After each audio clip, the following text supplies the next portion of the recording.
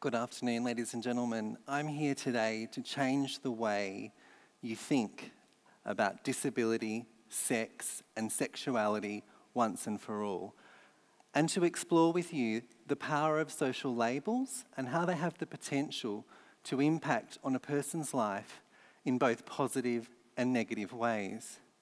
For example, what was the first thing you thought as you saw me walk towards the red circle this afternoon? Or perhaps the first thing you've assumed when you've heard me speak? Despite what you may think or perhaps have already assumed, did you assume correctly? I can confirm for you, ladies and gentlemen, that I am a proud gay man. I'm also an occasional drag queen, a senior leader in the disability employment services sector, and just for balance, although to be perfectly honest with you, I don't have a great deal of that. I'm a person with disability. I have cerebral palsy. I alone can tick almost every one of those annoying, completely, sometimes unnecessary and invasive diversity boxes. They all stand before you today. But, ladies and gentlemen, you're in luck because today I'm not just here to talk to you. I know, right? Scandalous. I want to show you some things too. Don't get scared. Before we get started, though, I just want to be clear that I am in no way trying to hypnotize you. But I totally understand if you fall in love. We can exchange numbers later, there's no problem with that. But, ladies and gentlemen, one of the things I want to show you is something about me that attracts the most attention. It's not my boyish good looks, my charm, or intellect. No, it's the way that I walk. So, without further ado, here's just me, the beautiful Trish, and my magic shoes. This is the way that I walk. Watch closely. Now, I can feel the tension in the room building. You're all staring at my butt, and you're all falling in love. But, ladies and gentlemen, because of this, because of the way that I walk, I give myself the coveted title of Australia's cheapest and most convincing drunk. That's because I cannot tell you the number of times that I have been refused entry to pubs and nightclubs based purely on the way that I walk as a result of my cerebral palsy. And on occasions, I've been ejected from these venues even after explaining that I'm not drunk 24 hours a day, seven days a week, that I'm a person with disability. I have cerebral palsy. I've been labelled many things in my life. One includes poofter. These are used as attacks on me on many occasions throughout my life. But I've also been labelled a faggot, a spastic, and a retard, just to name a few. Now, ladies and gentlemen, I know that you might be confronted by that language, but as a 38 year old man, I still confront that language as I stand before you today. But more importantly for me today, more importantly, I need to make an apology to you, the audience. Hashtag, I'm so sorry.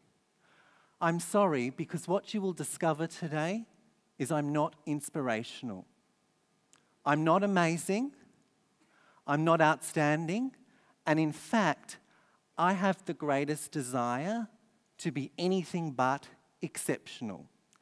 There is the greatest chance, however, that what you will discover from my talk is nothing. Yep, absolutely nothing except I'm just like you. In Australia, we are obsessed with labelling people, and this has happened to me all my life. And in fact, ladies and gentlemen, I put to you that if it wasn't for society and successive governments constantly reminding me that I was a person with disability and a person who is gay, I would most probably forget about it. I mean, I'm a busy person, I've got shit to do.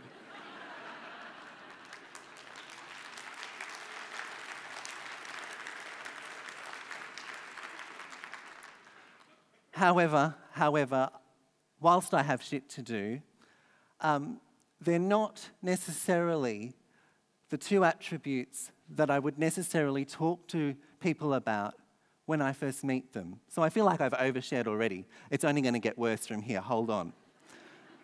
But, ladies and gentlemen, I want you to understand where, for me personally, those two attributes sit on a list of 50 things about me. Now, you'll be quizzed on this later, but I'm going to show you where, for me personally, being a person with disability and being a person who is gay actually sit for me on that list. And you'll notice that number five is I'm a Britney Spears fan. She's a diva, just like me. Number 10 is I have several celebrity crushes, they just don't know it yet. Number 12 is I'm a university graduate. And number 49 is I'm a person with disability. And number 50 is I'm a person who is gay. Yet I am completely fascinated by the fact that government and policymakers and even members of the community are so busy focusing on what makes people like me supposedly different or other, all the while ignoring the qualities and traits that unite us simply as human beings. I'm going to let you in on a secret. Do you want to know something? I do everything you do. And when I say everything, I mean everything. For example, I regularly masturbate. I have sex and with men, and in my life, that's been several men. I get up every morning and I go to work. I earn a wage and I experience the same financial freedom that you experience from employment. To some, this is amazing. But I'm here to tell you that nothing I do is amazing. In fact, everything I do is just typical.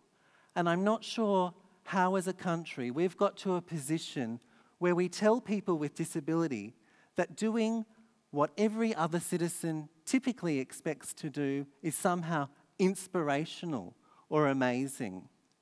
But then I thought to myself, long and hard that if I were to be the Clark Kent of disability, what would I look like? Well, wait no more, ladies and gentlemen. Feast your eyes on it. Pretty hot, hey? Even if I do say so myself. More often, though, ladies and gentlemen, people like me, and in particular people with disability, are, in my view, described by the community and by members of government using highly negative and frankly offensive language. I don't know about you, but how many times have you heard people with disability described using terms like this? Limitations, deficit, impairment, inability. Do you know every time I hear people, including members of the public, senior public servants, and even in my work, ministers of government, using terms like this to describe people like me, my first thought is shut up. How about asking me and the many millions of people just like me the terms we might use to describe ourselves? Because the one thing that you can be certain of, ladies and gentlemen, is that we would not describe ourselves using terms like this. They are offensive. I want you to think for a moment, ladies and gentlemen, that if you woke up tomorrow and your life had drastically changed, and through a set of circumstances completely beyond your control, you were labelled a person with disability, how would you feel? How would you want to be treated by your family and friends, seen by your employer and colleagues? But most importantly, how would you expect to be treated in your community? Because although we can acknowledge much positive change for people with disability, the National Disability Insurance Scheme, for example, and for members of the LGBTIQ community, momentum towards marriage equality, I say with some level of hesitation. Um, we're not there yet. So let us look at where we are in Australia in 2017. Almost half of lesbian, gay, bisexual, and transgender people hide their sexual orientation or gender identity for fear of discrimination and violence. According to some reports, same sex attracted Australians have up to 14 times higher suicide rate attempts than compared to their heterosexual peers. 2.2 million Australians of working age have a disability. I'm just one of them. 46% of people with disability are not currently in the Australian labour force. Contrast that with 17% of people without disability. This next statistic will sicken you. Today in Australia, 90% of women with intellectual disability will experience some form of sexual assault in their life. And it may shock or perhaps even horrify you to know that Australia, the so called lucky country, ranks 21 out of 29 OECD countries for the employment participation of people with disability. I just want to be clear there that in that equation, number one is the top, and coincidentally, my favourite number 29 is the bottom. 21 is not good. We've got lots more to do. But it's at this point that I want to talk about the cup of coffee in the room. Because, ladies and gentlemen, what you may not know is that tens of thousands of people with disability are already in employment. And they are working for a wage far less per hour than the cost of that cup of coffee that you pick up every morning on your way to work without a second thought. This is despite a High Court decision that found this practice to be discriminatory. And I ask you, ladies and gentlemen, would you do your current job for $3 an hour? And if not, why not? And if not, why then are we so willing to accept this as a reality for some of the most vulnerable citizens in our community. Now, it's true to say that these statistics paint a very bleak and sad reality of what life is like for someone just like me. But it also amazes me that as a country we constantly fail to recognise the importance and value of diversity in all its forms. As an example, how, why has it taken so long for our community to recognise and harness the potential of someone like me? And I can tell you why. It's because of the ever present weight of low expectation. And that is present today for everyone with disability. And we need to change that. So, to do that, I wrote a book, Anecdotes of a Disabled Gay. I affectionately call my book my own personal collection of the shit people say to a 30 something year old disabled gay man. But I wrote the book for two reasons. One, to shed a light on what people say to me, but two, because I also have been the subject of disability discrimination. I also have been the subject of exclusion. I also have been the subject of unconscious bias. And I see it every day in my work as a leader in the disability employment services sector. Highly skilled, talented individuals shut out and excluded, all because of the power of a social label. This has to improve, ladies and gentlemen, because each and every one of us could tomorrow be a person with a disability, and I'm sure you would want something better than this. I've come to understand that this is a conversation we all need to have, and I've just been the one to start it. While for the longest time, all I thought I was to people was a poofter, a faggot, a spastic, and a retard, I come very quickly to understand that that was only what they labelled me. It is not, and nor will it ever be, how I see myself. My parents taught me a very valuable lesson as a young person, and that was simple but transformative. Just be. Just be me. Never apologize or compromise that for anyone.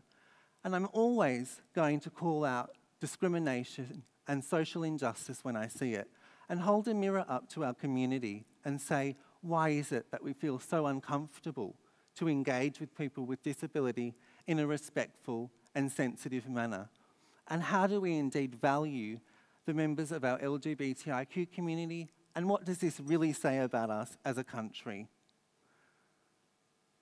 Ladies and gentlemen, to sum up, I mentioned the word leadership a few times in my talk, and I understand that as a leader, what comes with leadership is responsibility.